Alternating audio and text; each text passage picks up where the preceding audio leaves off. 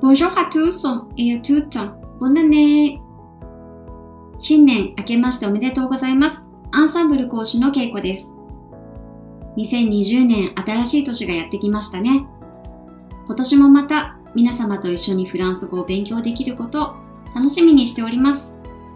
2020年が皆様にとりまして素晴らしい年になりますように。